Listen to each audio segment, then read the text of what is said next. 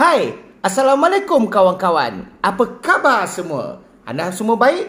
Hari ini kita ada khabar gembira. Malaysia telah mendapat PM ke-10 yang baru iaitu Reformasi. Reformasi. Itu dia daripada Anwar Ibrahim.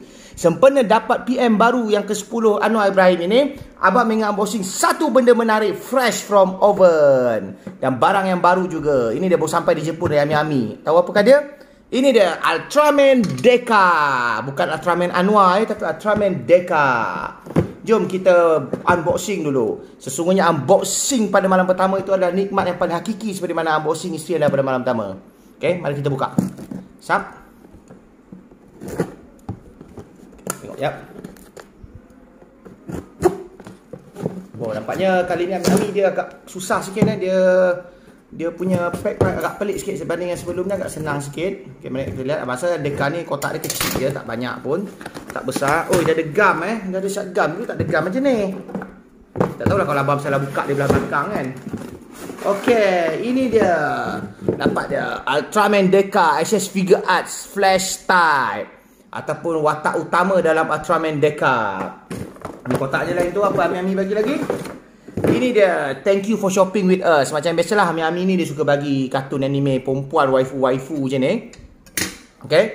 Dan kemudian kita nak Ultraman Deka Kemudian kita nak kotak dia eh. Untuk kotak dia Yang pertama dia tulis Ultraman Deka Flash Type. Ini, ini bukan SCLA lah Sebab dari Jepun kan. Dia tak silap Ultraman ada SCLA Abang tak tahu lah Kalau Deka ni ada juga ke tak. Kan ada stiker dia kilat Tanda original dia. Dan di tepi dia macam ni. SS figure Tak ada gambar apa-apa. Kemudian di belakangnya ada gambar Ultraman Deka dia tak ada apa-apa alat lah. Macam pedang Ultraman Triga bagi tu tak ada. Dan selanjutnya adalah ini Ultraman Deka Flash Type. Kotak dia macam warna merah sikit lah. Tak tahu kenapa sebab kalau Ultraman Triga dia macam biru-biru purple sikit okay. selanjutnya jom kita buka kan? Okay, mula-mula kita buka dulu. Dia punya selotip. Kan? Susah betul tak apa korek ya. Korek korek korek korek. Hai, payah betul pula selotip dia ni kan abang koyak je kertas ni kan. Apa kotak dia ni? Ha, okey. Sebenarnya abang bukan nak jual balik kan, tapi kecuali lah kalau keadaan mendesak. Jadi kita buka. Okay, sebab kita buka sebab ni kecil kita tak perlu pusing kamera lah, kita tengok terus je. Tara, nampaknya ini dia Ultraman Deka Flash Type Dan kebetulan selain itu Ultraman Deka ni kalau kawan-kawan beli dapat percuma kad eh Kad Deka ni kat belakang ni eh. Kita lihat dia solotip-solotip. Okay, ini dia. Kad Ultraman Deka yang abang dapat adalah apa ni? Uh, oh, flash type betul. Abang ingat dia dapat yang miracle type sebab macam biru-biru.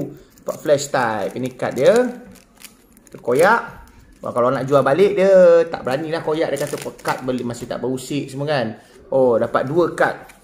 Yang mula-mula Ultraman Deka Flash type. Macam yang dia boleh masuk. Mungkin abang rasa ni boleh masuk dekat dia punya DX tu kan. Lepas tu keluar bunyi neng nong neng nong flash type something kan. Ha, ni dari belakang dia. Kan ni kad dia. Kemudian ni tak tahu apa benda kad hitam putih. Dia tunjuk ha, dan belakang dia ada tulis macam ni. Ha. Okay selanjutnya mari kita lihat Ultraman Deka ni lah. Okay sebab kita mari kita lihat depan-depan macam ni. Okay tak apa tak nampak muka bam. Ha, ni Ultraman Deka. Dapat tangan yang macam biasa lebih kurang macam ni je lah. Kan ha, ni tangan lurus ni nak buat dia punya fire kan. Ha, sama lah dia punya kosen-kosen tu ni pun sama. Atau mungkin salah satu yang bersilat dan yang kosen dia macam ni kan. Okay, selanjutnya ni tangan yang dia macam buat tangan macam ni. Okay. Dan ini biasalah tukar dia punya lampu dia kalau dah lemah daripada biru ke merah. Lampu dia Ultraman Deka ni pelik eh. Dia belah kiri dada dah. Ultraman selalu tengah-tengah dada kan. Ha, dia belah kiri lah. Kan Ultraman Dyna dia punya apa uh, predecessor pun lampu dekat tengah. Selanjutnya jom kita lihat Ultraman Deka. Macam biasalah dia kosong tak banyak apa-apa sangat. Dia bagi tangan je. Ini dah Ultraman Deka ni. Kita buang terus semak ni. Kan kalau ada yang simpan ni dia cakap oh tengok-tengok saya takat gambar posing pun ada lagi plastik ni. Sebenarnya nak jual balik tu. Dia cakap MIB. Abang tak jual lagi dah buang lah tu. Kan ini bentuk dah Ultraman Deka. Kan uh, flash type. Ini dia punya apa?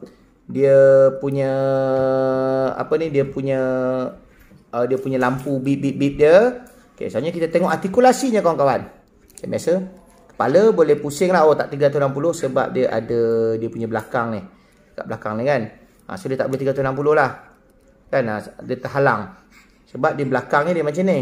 Okey selanjutnya tangan dia macam biasa lah. Tangan dia boleh 360 Belah sini tak ada shoulder pad. Sama juga rupanya belah kiri pun tak ada shoulder pad. Abang ingatkan ada belah kiri ni shoulder pad. Rupanya tak ada. Kan? Ha, kemudian dia tangan dia double joint. Dia boleh buat menumbuk macam ni.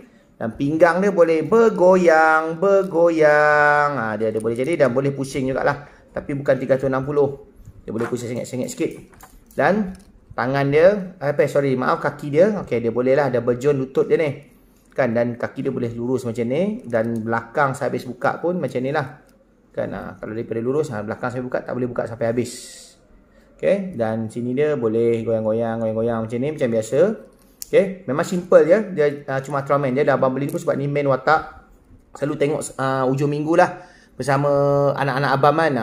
Dia keluar Sabtu pagi selalu pukul 9 pagi. Dah menunggu depan TV tengok dekat channel YouTube Ultraman siapa nak kawan-kawan nak tahu pergi dekat channel YouTube Ultraman ada series dia sekarang tak silap dari episod 18 ke 19 abang tak ingat lah Kan? Okay? Oleh itu abang merasa ini saja dari abang untuk uh, unboxing dan review Ultraman Merdeka. Okay, sebelum tu lupa pula.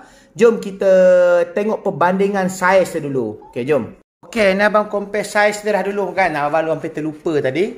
Okay, ini saiz Ultraman Deka. Dan sebelah ni SKC Ultraman atau Ultraman Hayata. Dia buat kosen yang sama.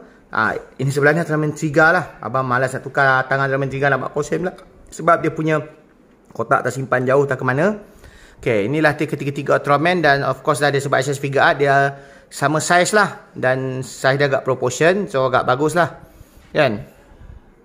Oleh itu kawan-kawan, siapa yang berminat dengan Ultraman Deka ni yang selalu tengok kan uh, tiap minggu ke macam abang dengan anak abang, anak abang, boleh dapatkan terbaru sebab Malaysia ni sebab abang tak tahulah KKL ada pameran Ultraman kan.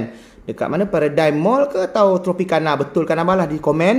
Kan pameran Ultraman tersebut ada dijual Ultraman Deka ni RM198.